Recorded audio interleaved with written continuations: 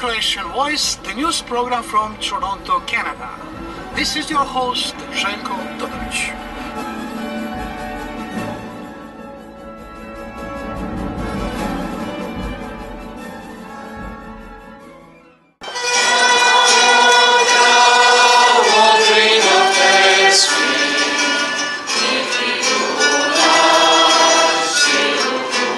Greetings, ladies and gentlemen.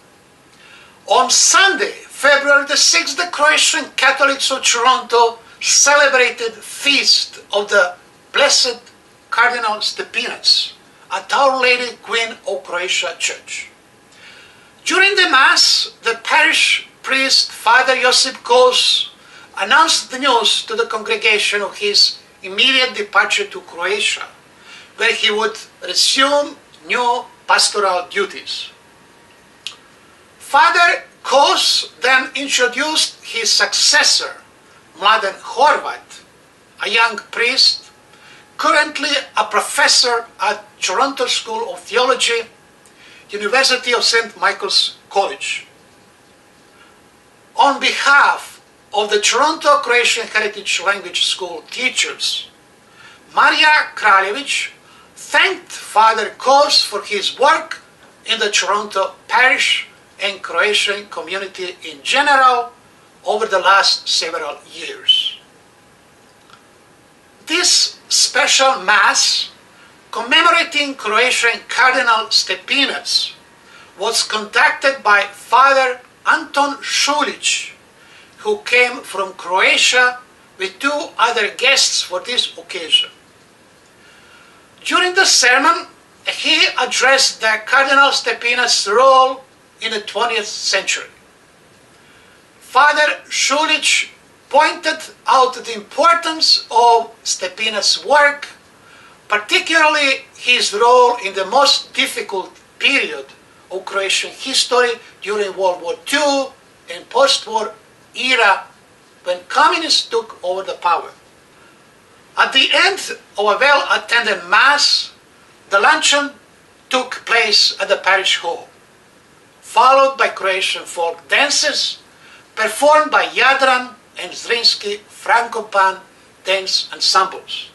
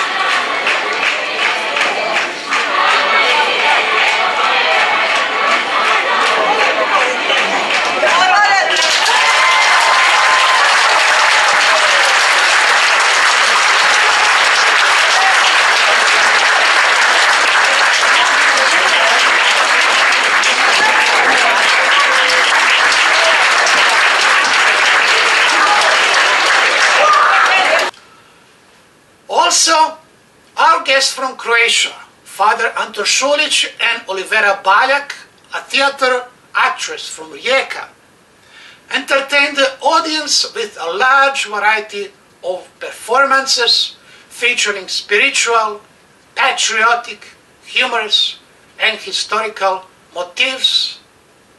It was a celebration of Croatian history and culture, with a particular emphasis on Čakavski dialect in which the oldest Croatian books were written in the Middle Ages. Pa mora biti da me svi ne poznate. Ja se zovem Mira. Mama je zovu Mirica. Imam svoj pansion. Vake prihaja samo fina gospoda, ki znajo, co je lepo. Ja, si prave mi soldi. Ako bi te morda vi oteli, eh,